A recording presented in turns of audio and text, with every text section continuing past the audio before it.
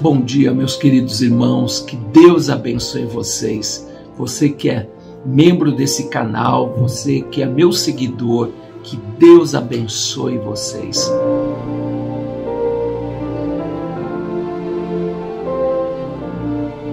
Se você está me vendo pela primeira vez, eu sou o pastor Daniel Adams, da igreja IA Church aqui de São Paulo, capital. Mas já convido você, se inscreva no meu canal, acione o sininho, dá o seu like para você receber notificações de mensagens diárias. Seis da manhã, uma oração, uma palavra de fé, às 20 horas, também uma mensagem de poder, de autoridade espiritual que vai abençoar a sua vida.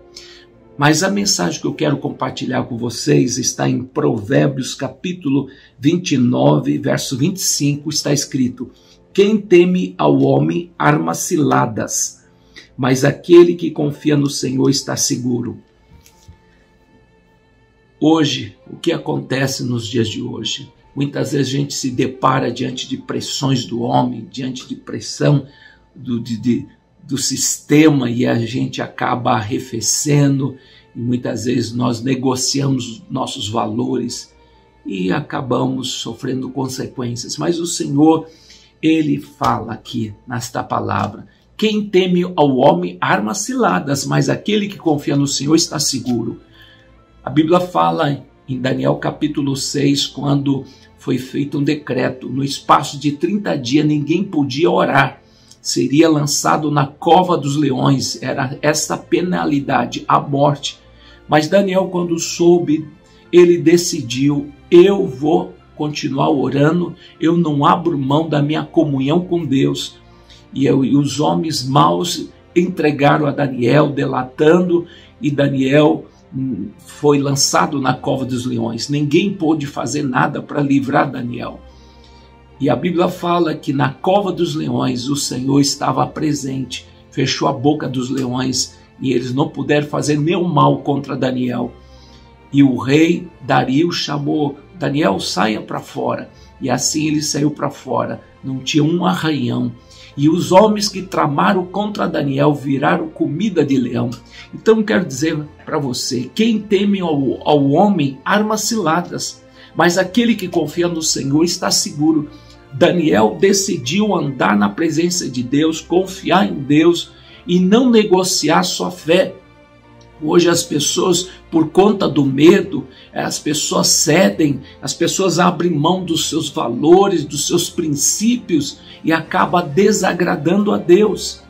Certa vez também o, o grande rei chamado Josafá, ele estava acuado diante de três reis poderosos que vinham contra o seu reino, o reino de Judá.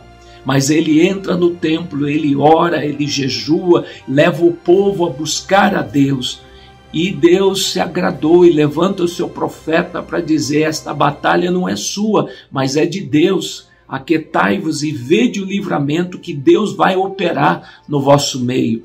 E a Bíblia fala, amados, que Josafá creu nas promessas do Senhor. E ele fala o seguinte em 2 Crônicas, capítulo 20, verso 20: Crede no Senhor e estareis seguro, e crede nos seus profetas e prosperareis. Então nós temos que confiar nas promessas de Deus.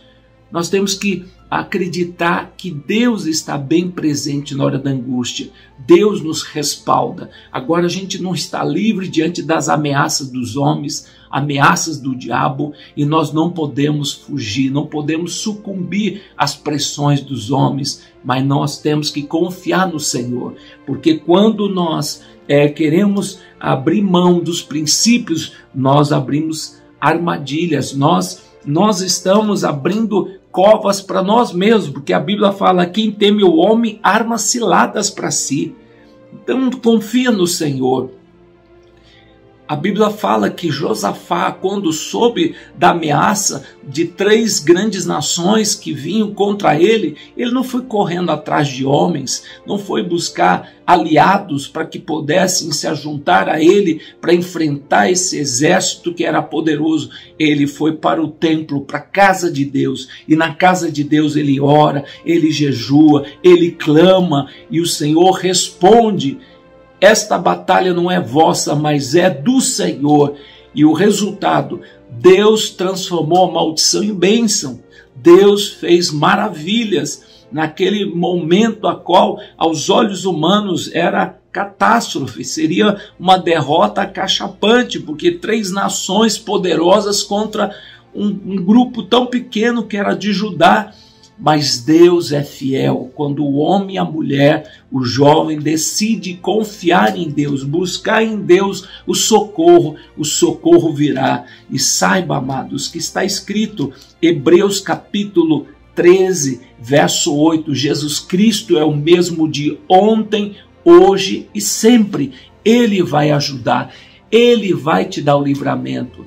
Mas confia no Senhor. Não faça negócio com o diabo, não faça negócio com os homens, porque maldito o homem que confia no homem, mas bendito o varão, a varoa que confia no Senhor, cuja esperança é o Senhor, porque quando nós oramos as promessas de Deus, quando nós clamamos pelas promessas de Deus, Deus é fiel, Deus honra a fé, a fé honra a Deus e Deus está presente conosco. Se você tem uma aliança com Jesus, saiba que ele diz para você: estarei convosco todos os dias até a consumação do século. Não te deixarei, não te abandonarei, mas esforça-te.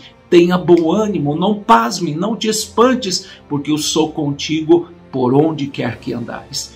Então receba essa mensagem. Eu quero orar por você, pela sua família. Pai, eu quero orar por todos os meus queridos irmãos. Ó Deus, que o Senhor venha dar força, Senhor. Ó Deus, para que eles possam suportar esse momento difícil de prova, ó Deus, ou de injustiça, que eles entreguem nas mãos do Senhor, porque o Senhor fará justiça aos teus escolhidos que clamam dia e noite, embora pareça demorado, mas o Senhor depressa fará justiça. Ó Deus, que teus filhinhos decidam confiar no Senhor, depositar toda a confiança no Senhor, porque Deus agirá e o Senhor está bem presente na hora da angústia. O Senhor nos ajuda, o Senhor intercede por nós. Ó oh, Deus, que o Senhor venha falar o coração dos teus filhinhos, Senhor, como eles devem proceder, Senhor. Ó oh, Deus, que eles possam olhar para ti, Senhor, e não perder o alvo.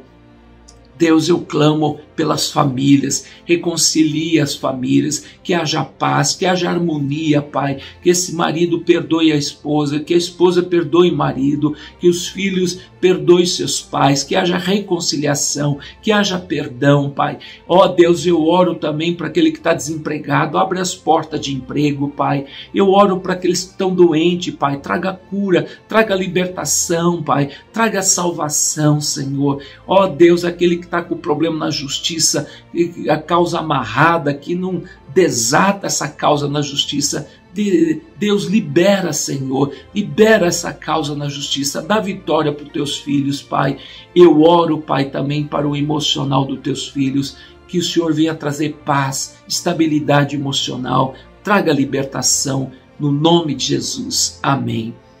Queridos, se essa mensagem abençoar a sua vida, compartilhe com o maior número de pessoas para que elas sejam também abençoadas. E me ajude, porque falta 3 mil pessoas, 3 mil amigos para me chegar aos 100 mil é, irmãos. Mas vamos chegar aos 100 mil, falta 3 mil pessoas. Que você consiga aí 5 pessoas e assim nós vamos ter o maior número de pessoas participando desse canal que é para a glória de Deus. Eu convido você também é, coloca o teu pedido aqui nesse chat que estarei orando e intercedendo por você.